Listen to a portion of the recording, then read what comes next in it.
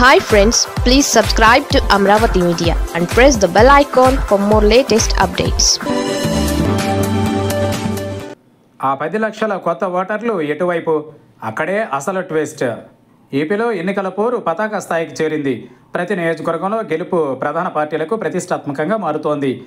Urban గ్రామీణ వారీగా ఓటర్లు పార్టీలకు పోలయ్యే ఓట్ల గురించి చర్చ జరుగుతోంది.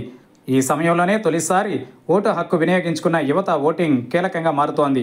ఏపీలో ఈసారి దాదాపు పది పాయింట్ మూడు లక్షల మంది యువత తొలిసారి తమ ఓటు హక్కు వినియోగించుకున్నారు వారిలో చదువుకుంటున్న వారు ఉద్యోగాలు చేస్తున్నవారు ఏపీలో ఓటు హక్కు ఉండి ఇతర ప్రాంతాల్లో ఉన్నవారు ఉన్నారు. ఓటు సమయానికి వీరిలో మెజారిటీ ఓటర్లు ఓటు వేసేందుకు తమ స్వస్థలాలకు వచ్చేందుకు సిద్ధమవుతున్నారు. దీంతో పెద్ద సంఖ్యలో ఉన్న వీరి మద్దతు ఎవరికి అనే చర్చ మొదలైంది. ఇతర రాష్ట్రాల్లోనే ఉంటూ వారు తమ మద్దతు సోషల్ మీడియా ద్వారా వెల్లడిస్తూనే ఉన్నారు.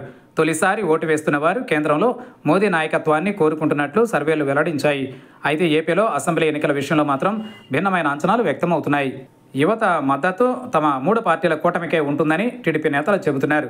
రాజధాని ఆర్థిక పరిస్థితులు ఉపాధి కల్పన వంటివి కీలకంగా ఉంటాయని విశ్లేషిస్తున్నారు. పవన్కు యువతలో అభిమానం ఎక్కువగా ఉండడం తమకు కలిసి వస్తుందని అంచనా వేస్తున్నారు. ఇదే సమయంలో గ్రామీణ ప్రాంతాలకు చెందిన యువత తమ కుటుంబాలకు జగన్ పథకాల ద్వారా జరుగుతున్న మేలు పట్ల ఆకర్షితులయ్యారనేది మరో వాదన. అదే సమయంలో ప్రధానంగా విద్యా సంస్కరణలు వైద్య సేవలు పోర్టులు గ్రామాల్లో వచ్చిన మార్పులతో వైసీపీకి మద్దతు ఇస్తారని భావిస్తున్నారు.